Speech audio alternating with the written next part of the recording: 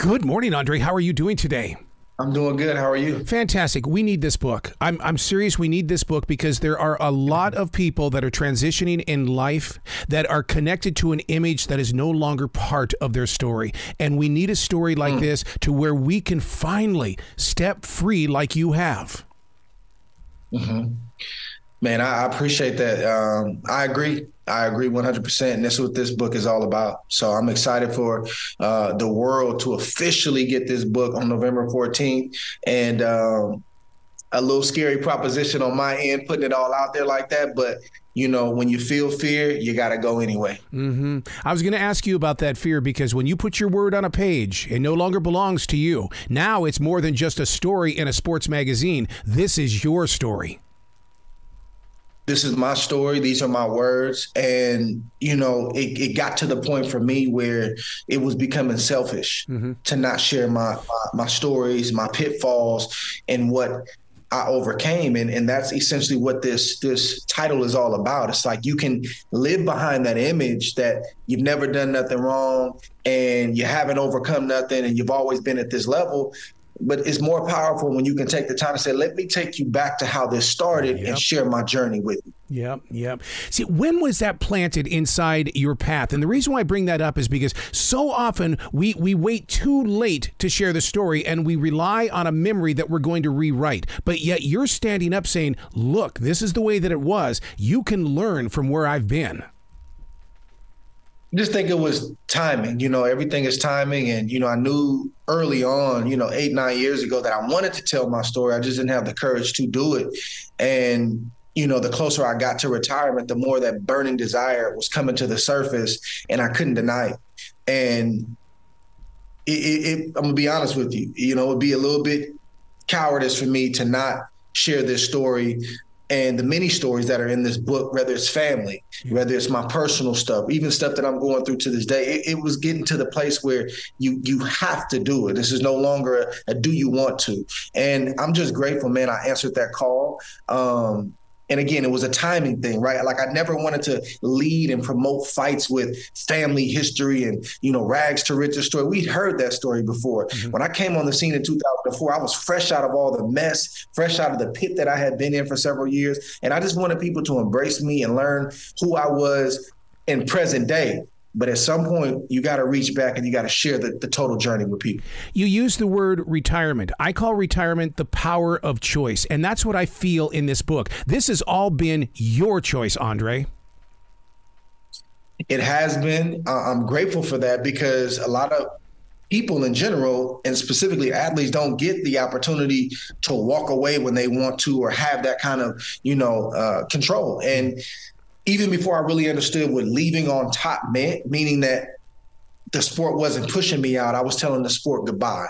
Um, I'd seen so many fighters throughout the years not be able to do that, have this arc where they came from nothing, they made it into something, and then all of a sudden I see the sport just dismissing them because they're too old or they no longer have it. I just didn't want that to be my story. Mm-hmm. So I studied guys like Jim Brown and how he walked away, Barry Sanders, Napoleon Kaufman, my pastor. I looked at these things and said, man, I like this, man, how they did it, and I want to do the same thing too. I was going to say, none of those guys were afraid to share their journey because they know they lived it and it doesn't belong belong to them. It belongs to tomorrow.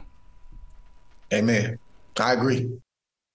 So, what do you do in those situations where I'm, I'm a third degree black belt? I've been in many, many tournaments where I'm inside that ring, but there's still that side of me inside the heart that's going, I want to get back in there, but you know you can't do it. How do you face that moment of, I used to be?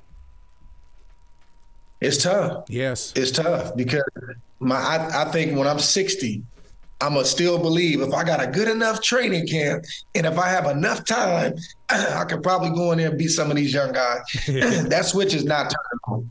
Um, so sometimes I'm reminded from my wife, babe, you remember how you were feeling when you retired? You remember how your body felt and with all the things you were saying? I'm like, oh yeah, I forgot. Yeah. I'm sorry.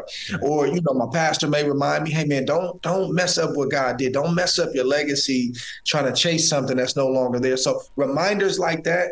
Or, you know, I get up and I start hearing my knees and my my ankles popping and clicking. Sometimes that's all the reminder so true. I, I, can feel that even as we speak. Now let's let's talk oh, about oh, yeah. what you what you've got here: the champion's journey of faith, fighting, and forgiveness. Forgiveness is number three. I love that faith is number one.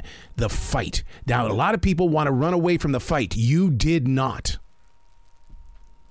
Man, fighting has been, you know, a metaphor for my life, you know, whether it's in my personal life or in the ring. And here's the thing, you know, people think that like fighting is just for violent people. No, no, life is a fight.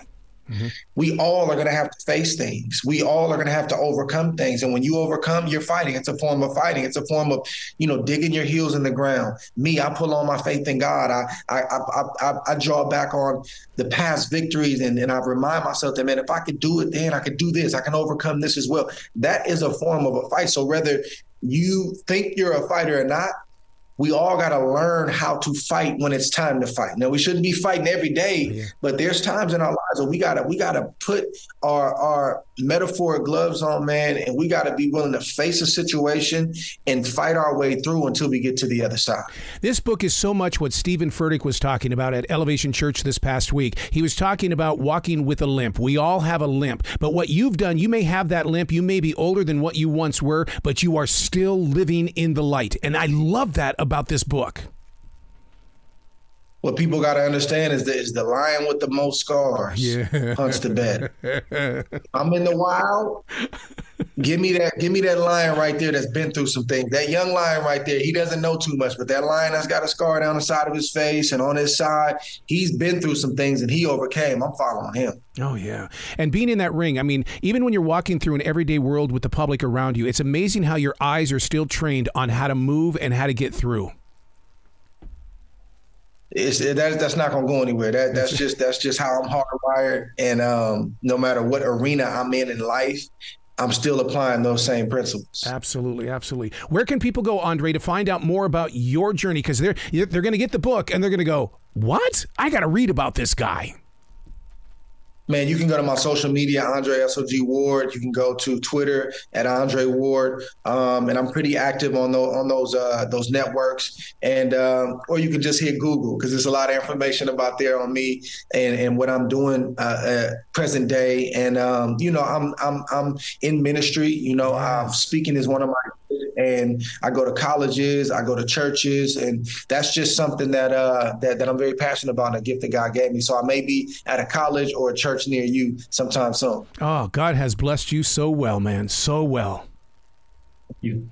Please come back to this show anytime in the future. The door is always going to be open for you. Thank you for the time. This was great. Well, you be brilliant today, okay, sir? I got you, brother.